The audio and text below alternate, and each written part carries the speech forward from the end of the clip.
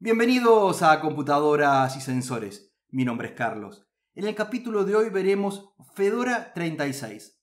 Esta nueva versión salida hace unos pocos días que incorpora GNOME 42 y Wayland. Veremos su instalación, características, novedades, cosas a tener en cuenta luego de la instalación y algún tip también. Dicho todo esto, vamos ya mismo con el video.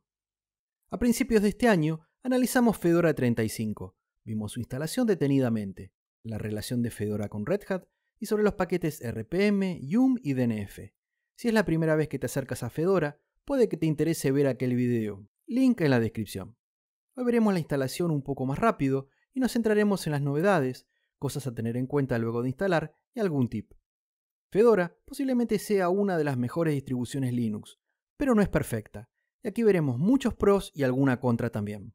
Para la descarga, nos dirigimos a getfedora.org y anuncia que se ha publicado Fedora 36. Y tenemos arriba las tres versiones más habituales, que son Workstation, Server y IoT. Recordemos que también en Fedora Spins tenemos como escritorios KDE Plasma, XFCE, LXQT, Mate, Cinnamon, LXDE, entre otras. Debajo nos recuerdan que Fedora está patrocinado por Red Hat. Nosotros descargaremos Fedora Workstation edición oficial con NOM 42. Damos en Download Now y nos dirige a una ventana donde tenemos que elegir entre x86 64 bit o para ARM. Recordemos que Fedora no está soportado para Raspberry Pi 4. Seleccionamos descargar para x86 y comienza con la descarga de 1,9 GB. Desde hace algunos años no hay versión de Fedora en 32 bits. Una vez descargado, tenemos que flashear la imagen ISO a un pendrive. Se puede usar Balena Etcher o el Fedora Media Writer. Si tienes dudas, en el capítulo 40 de Fedora 35 se explicó. Booteamos la computadora con el pendrive recién flasheado y seleccionamos Start Fedora. Nos abre Fedora 36 Live y seleccionamos Install to Hard Drive. Luego idioma y en destino de la instalación lo dejo en automático, ya que es una unidad SSD de 256 GB destinada a Fedora sobre máquina real. Siempre evito utilizar máquinas virtuales para una evaluación más realista. Si en tu caso tuvieras otro sistema operativo, tendrías la posibilidad de hacer dual boot y asignar el espacio a cada uno. Doy en hecho y luego a la derecha en comenzar la instalación. Demora unos pocos minutos y tenemos barra de progreso permanentemente. Aquí te lo resumo. Luego nos indica que se ha instalado con éxito y que tenemos que reiniciar el sistema. Reiniciamos y al abrir aparece una ventana de bienvenida para terminar de configurar nuestro sistema, comenzando con servicios de ubicación información automática de problemas que desactivo. Siguiente, activo los repositorios de terceros, aunque luego tendremos nosotros que instalar alguno más. Siguiente, omito las cuentas en línea, nombre de usuario, contraseña y nos indica que hemos terminado y que estamos listos para usar Fedora 36. Luego omito el tour por NOM42. Lo siguiente, como es habitual luego de instalar una distribución nueva, lo ideal es actualizarla. Hacemos clic en Actividades o presionamos la tecla Super. Recordemos que la tecla Super se encuentra normalmente entre Control y Alt. En muchos teclados tiene el logo de Windows. Luego hacemos clic en la tienda de software de NOM y vemos que en la pestaña de actualizaciones nos marca 19. En lo personal, no me gusta actualizar desde aquí la primera vez, ya que no tengo forma de saber el avance de la instalación. Prefiero hacerlo desde la terminal, pero ambos métodos son válidos. Entonces cancelo y me dirijo al dock. Y hago clic en mostrar aplicaciones y selecciono la terminal. Allí escribimos sudo dnf update. También podrías poner upgrade. Fedora lo toma ambos por igual. Luego ingresamos el password y después de unos pocos minutos nos indica que tenemos 19 paquetes para instalar y 340 para actualizar. Ingresamos ese y comienza con el proceso de descarga, instalación y limpieza, que demora algunos minutos. Al finalizar, nos devuelve listo y reiniciamos el sistema. Vamos a dar una mirada al escritorio. La verdad es que no hay demasiados cambios. Tanto la versión de Fedora 35 que revisamos en enero como esta 36 utilizan NOM, antes 41 y ahora 42. Y como gestor de ventanas ambos a Wayland, lo cual le da una gran fluidez, todo se mueve rápido, de manera eficiente y moderno a la vista. En cuanto a las diferencias, en esta imagen tenemos a la izquierda el escritorio por defecto, luego de la instalación de Fedora 35, y Fedora 36 a la derecha. Más allá del tamaño de los iconos, vemos que tenemos exactamente las mismas aplicaciones. Solo cambia que en Fedora 35 teníamos a gedit como editor de textos y ahora a GNOME Text Editor. Además se suma la aplicación para capturas de pantalla y captura en video que revisamos en Ubuntu 22.04 y en breve le daremos una mirada también. Los iconos los podemos mover a nuestro gusto y ordenarlos como nos guste. El manejo de los espacios de trabajo es excelente, pudiendo arrastrar y soltar las aplicaciones en los espacios de trabajo. Y luego de completar los dos primeros, automáticamente se genera el siguiente. Accedemos al espacio de trabajo rápidamente y con una animación moderna. Cambiar los espacios de trabajo también es muy cómodo y rápido. NOM es una maravilla realmente. Lo es desde hace algún tiempo. Al arrastrar y soltar un icono, en este caso, la terminal, desde las aplicaciones al dock, este se fija en el mismo y desaparece de aplicaciones. Ya no quedan duplicadas las aplicaciones como antaño. Me parece muy acertado esto. Casi nada nuevo en esta parte, pero si ingresamos a configuración, en apariencia, sí tenemos cambios. Podemos elegir el modo claro u oscuro, que también cambia el fondo del escritorio. Ahora la gran mayoría de aplicaciones adoptan la apariencia seleccionada junto con el fondo. La apariencia oscura en ambientes poco iluminados es recomendable. En lo personal, por el momento, voy a seleccionar el modo oscuro. Desde configuración, ingresamos en acerca de y vemos que se trata de la habitual computadora de pruebas con un Intel i5 3470, 8 GB de memoria RAM y unidad de estado sólido de 256 GB, NOM 42.1 y Wayland como gestor de ventanas. Ingresamos a la terminal ejecutamos top. Tenemos un uso de memoria de 1344 MB.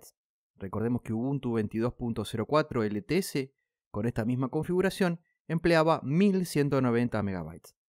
Salimos de top y si escribimos neofetch, que habitualmente utilizamos en todas las revisiones, nos devuelve que no se encuentra instalado, pero sí lo encuentra en la lista de repositorios y nos pregunta si queremos instalarlo.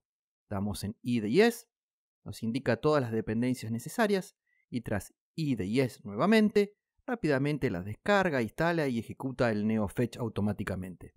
Aquí vemos que nos indica que se utilizan 1468 MB de memoria RAM. Y otro dato interesante, que contamos con el kernel 5.17.6, mientras que Ubuntu empleaba 1321 MB de memoria RAM y el kernel es el 5.15. Esta es otra de las características importantes de Fedora 36. Cuenta en casi todas las aplicaciones, al igual que en el kernel, con las últimas versiones de ellas. Por ejemplo, LibreOffice con la 7.3.3.2. Vamos al dock, abrimos aplicaciones y luego el nuevo GNOME Text Editor, que debuta en Fedora 36 reemplazando a gedit. La pregunta podría ser, ¿qué tenía de malo gedit? Nada, simplemente se prefirió partir desde cero y utilizar la nueva librería libadwaita, que posee muchas funciones avanzadas, como animación, modo oscuro incorporado, entre otras cosas. Consideraron mejor hacer un nuevo editor de textos y no tener que adaptar el anterior a la nueva librería. La otra novedad es la aplicación para hacer capturas fotográficas y en video de pantalla o parte de ella. Se accede presionando la tecla Imprimir pantalla.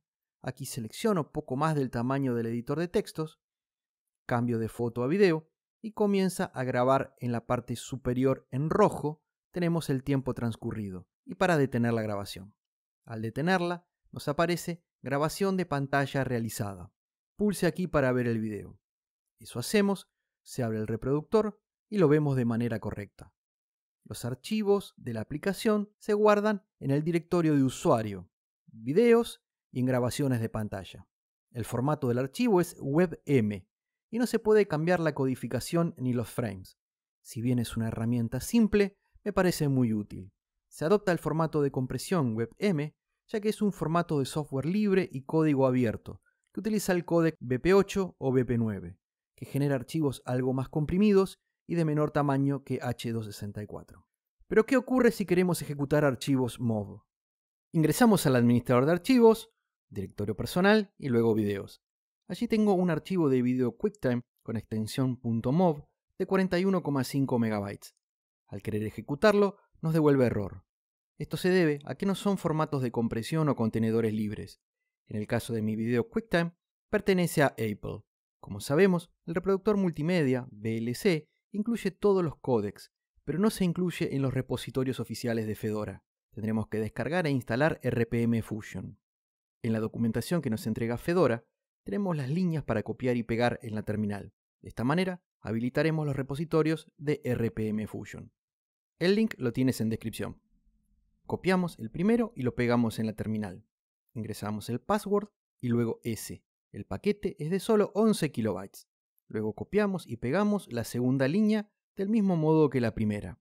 También es una descarga de solo 11 kilobytes. Se descarga e instala rápidamente y con esto tenemos los repositorios instalados.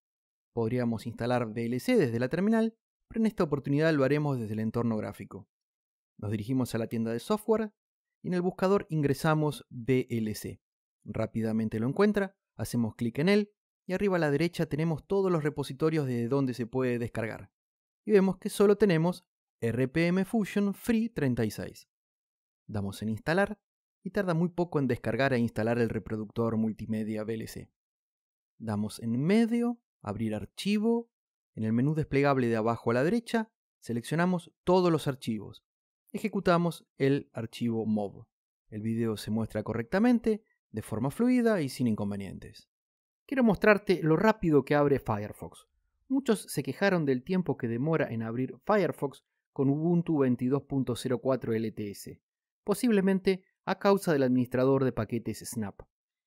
Aquí, sobre máquina real con un i5 de más de 9 años de antigüedad, abre muy rápido. En YouTube, el video de la fundación Blender, Big Buck Bunny, a 1920 x 1080 y 60 cuadros, se reproduce perfectamente y sin casi caída de frames. Como nos muestra el acerca de, la versión de Firefox es la 100, hecho por Mozilla para Fedora. Antes de finalizar, quiero mostrarte lo que a mi entender son instalaciones necesarias o al menos convenientes luego de la instalación de Fedora 36. Lo primero que tenemos que hacer es si tenemos una conexión a Internet de alta velocidad, es entrar a la configuración de DNF y permitir más de 3 descargas en paralelo. El rango permitido es entre 3 y 20. Por defecto, viene con 3 descargas en paralelo. Para ello, ingresamos a la terminal y de allí escribimos sudo nano barra etc barra dnf barra dnf.conf. Nos pide el password y al abrirse el archivo en donde dice install only-limit, podemos poner un valor entre 3 y 20. Dado que mi conexión no es rápida, pondré 5, pero si prefieres 10, es una buena opción. Grabamos el archivo presionando Control O y salimos de Nano con Control X. Lo segundo que tenemos que hacer es actualizar el sistema.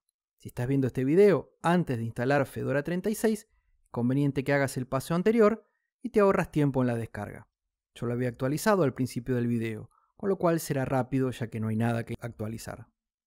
La actualización se realiza con sudo dnf update y luego ingresamos el password. El tercer paso que recomiendo es instalar RPM Fusion, como vimos hace un rato en el video. Todos los links los tienes en la descripción. El cuarto paso es instalar varios códecs de audio y de video que no son de software libre, al igual que las librerías de Python, muy interesantes como por ejemplo Tesseract y el compresor de audio Lame. Lo hacemos copiando y pegando estas dos líneas que brinda Fedora en su documentación. La quinta recomendación es activar Flatpak. Flatpak es un gran administrador de paquetes, para muchos superior a Snap. Simplemente en la terminal escribimos esta línea y lo tenemos activado. Hay muchas cosas más que se pueden hacer para mejorar la experiencia en esta excelente distribución que es Fedora 36, como instalar GNOME Tweaks, las extensiones y tener por ejemplo el dock fijo con Dash to Dock, ver el estado de carga en portátiles, descargar nuevos temas y fonts para el escritorio, etc. Si te interesa, házmelo saber en comentarios y le dedicamos un capítulo. Por hoy, esto es todo.